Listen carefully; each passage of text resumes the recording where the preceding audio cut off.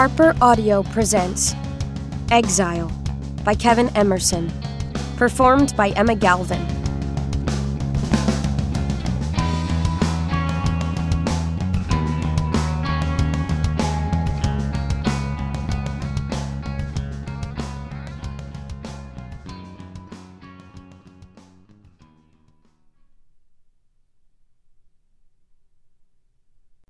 Vinyl cufflinks where we are music infinite. 15 years after we pledged allegiance. Posted by Ghost of Eli White on August 28th. As all true music fans know, this year is the 15th anniversary of one of rock's greatest triumphs and tragedies the release of Allegiance to North's seminal second album, Into the Ever and After which dropped one year after the death of lead singer and songwriter Eli White. There is no bigger what could have been than this phenomenally talented group out of Mount Hope, California. From the moment they burst onto the scene with their first EP, Forests in Cloudlight, through the worldwide smash success of their full length, The Breaks, it seemed like Allegiance was sure to be the greatest band of the new millennium. But that was before White redefined the cautionary tale, ending a downward spiral into drugs by drowning in the dark Pacific at the age of 22. And, as we all remember, it was on this date, 15 years ago, that Candy Shell Records leaked the now infamous track list for Into the Ever and After, three months before the album's release. Why infamous? Because the list included three songs that did not appear on the album when it was finally released after Eli's death. Those lost songs, did they ever get written? No recordings have ever been found. I'll admit, it makes me sad every time I think of what they might have been. Here's the list Allegiance to North, Into the Ever and After, Official Track List. 1. The Here and Now. 2. Infinite Starling. 3. The Sound of Your Smile. 4. Deadfall. 5. Last Chance. 6. Roll the Credits. 7. On Dreams That Seem Like Silent Movies. 8. Exile. Star. Unreleased. 9. Encore to an Empty Room. Star. Unreleased. 10. Finding Abbey Road. Star. Unreleased. 1. Formerly Orchid. At Catherine for Never. 5 minutes. Former Phenom band manager dines on nachos alone, or close enough. Across town, other life proceeds without her. Hashtag pity party. Hashtag going in circles. Just after dinner, on the night before the start of senior year, Dad polishes off his guacamole garden burger, looks at me seriously, and asks, So? Now what then? Tonight is also my 18th birthday, which means that I've known my dad for 6,570 days and so I probably should know that he means this question to sound supportive. Concerned, but supportive. But my heart races, and all I can hear is, I told you so. I don't know yet, I reply, shoving the last chunk of burrito into my mouth.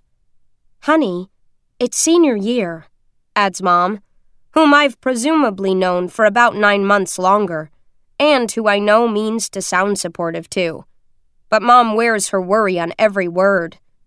I've heard, I say around food. Now what? Senior year is supposed to be the culmination, the big finale of an epic journey. But given our surroundings, I wonder if I'm going in circles instead. We sit in a red vinyl booth, hunched over a linoleum table decorated with a cliche painting of the Mexican desert. Around us, blink the jalapeno shaped lights and other assorted kitsch of La Burrita Feminista. Freshman year, I brought my five closest friends here for a birthday party, complete with poppers and present bags and personal pinatas, but invitations for this year's celebration went only to my parents and my Aunt Janine. Maybe I'm not just going in circles. Maybe this is actually a downward spiral, like into a black hole. My parents normally prefer something a little more sanitized than a radical feminist burrito bar, especially when it means driving all the way into Hollywood. And normally, I'd prefer not to be spending my birthday with my parents. But I think they sensed that I had no other options and found it in their hearts to make the effort even if Dad defiantly ordered a garden burger at a Mexican joint. Also, Aunt Janine loves this place. My parents think it's because she's secretly a lesbian.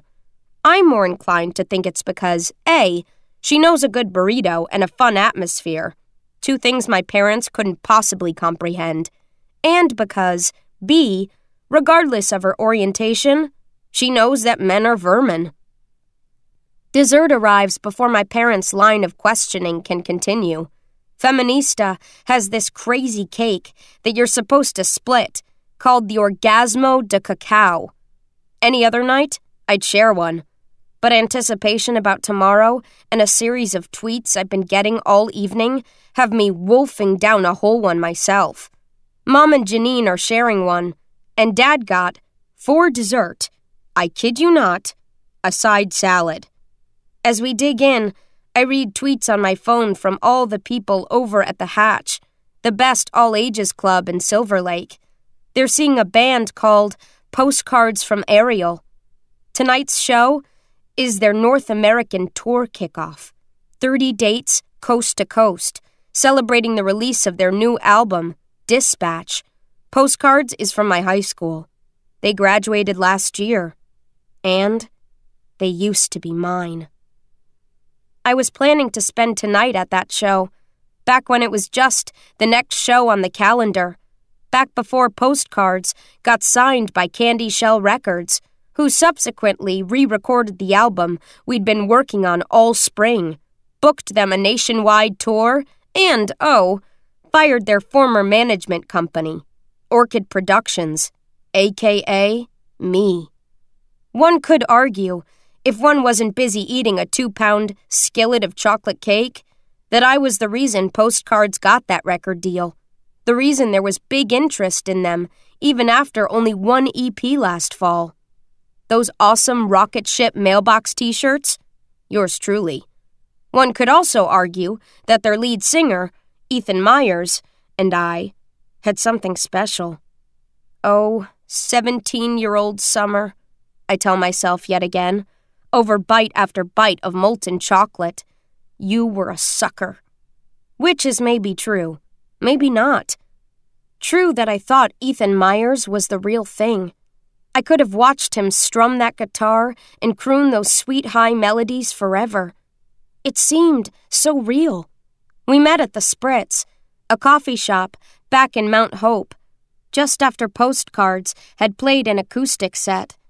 I was a sophomore and so into music. He was a junior with a cool new band. I couldn't believe he was actually into me.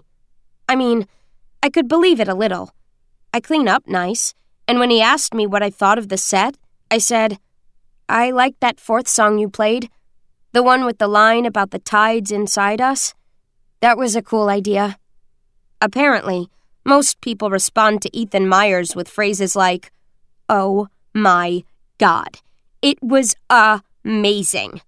Or, you guys. Insert crying. Apparently, it was completely novel for a girl to have a thought about a specific thing in a specific song and to articulate that thought coherently. Oh, nice, he replied, adding, beneath the surface of the photograph. At the time, I should have caught this finishing his own lyric move as a sign that he was a self gratifying nematode. Except, then he said, Thanks for noticing. And it sounded sincere. And also, he smiled. And, youch, the way his eyes lit up was sort of amazing. Then he asked, What about the other songs? Then apparently my response, oh, they were fine too, came off as a little indifferent, even though at the time I was whirring inside. And apparently, telling a musician their songs are fine is basically like telling them you think they suck. And then finally, this level of indifference is apparently completely irresistible to men. Guys dig when women fall all over them, but what they really love is a chase. We started dating. I sincerely loved the band. Their sound was one part folk, one part rock, but with a melancholy thing that occasionally turned dark. I helped out, spreading the word about their shows and videos, designing their website and band space page, and it worked so Ethan thought I should become their official manager. There was some Yoko danger there, and the other members were skeptical. But then, I was good at it. One rainy Sunday in January, Ethan and I printed up my first business cards for Orchid Productions at Espresso Mail. We drank Medici's, like mochas with orange, a drink that Ethan had discovered while visiting Seattle, and we took a self portrait me with a bit of foam on my nose, the attendant frowning in the background because we insisted on drinking them with the tops off so we could enjoy the froth, even though there was a big sign that said, No beverages near machines. It was my profile picture for over a year. What I'm good at is spreading buzz, fanning flames, setting up great gigs. But most important, it turned out that I have an eye for what really sets a band apart what their greatness truly is. Bands have a hard time seeing that from the inside. Lots of times, they care too much about 16th notes and egos, and which girls in the audience are checking them out. After two years of work, Postcards was really taking off. But then along came Candy Shell Records, with a studio, and a tour, and a marketing team, and one more thing a contract with a clause stating that the band could not have any third party management. Suddenly, so long summer. But that wasn't even the worst part, because only then did I learn that Ethan Myers was also not what I'd thought. Those pretty melodies and guitar chords he spun, it turned out I wasn't the only heart he'd ensnared in his web. Nothing bonds two people as deeply as music, Ethan said to me once. I know, in hindsight, so lame. And I was the fool who assumed he was only referring to the two of us, when actually, Ethan had felt that deepest of bonds quite a few times during our relationship.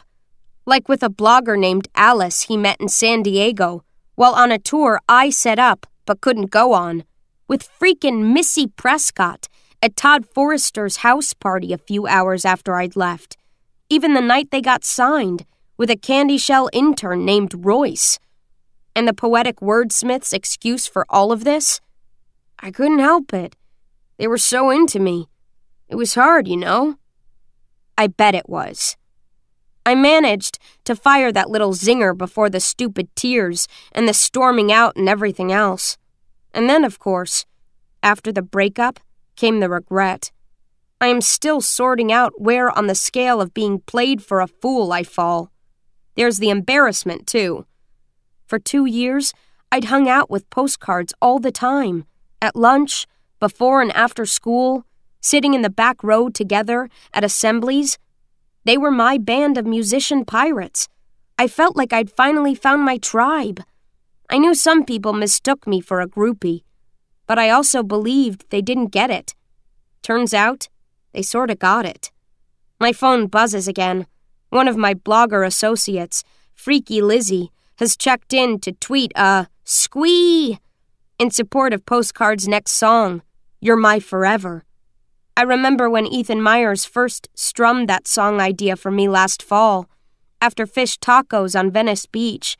I remember thinking, damn. Have you had any more thoughts about colleges? Dad asks. Applications are due in a few months. I don't know, I say. Maybe I'll major in pre law. Law? It's hilarious watching Dad try to suppress his excitement. He works for a major construction firm downtown, managing the books. concrete numbers, pounds of cinder block, foot lengths of 2x4. The kind of guy who wears a tie even to a rainbow colored burrito joint on a Sunday night. He doesn't say anything more, but I know exactly what he's thinking. Finally. Of course, I can count on Mom to say it. Well, that would be a relief. Mom's use of pearls, on a Sunday, eating burritos, is like Dad's tie. We hope you enjoyed this preview. To continue listening to this audiobook on Google Play Books, use the link in the video description.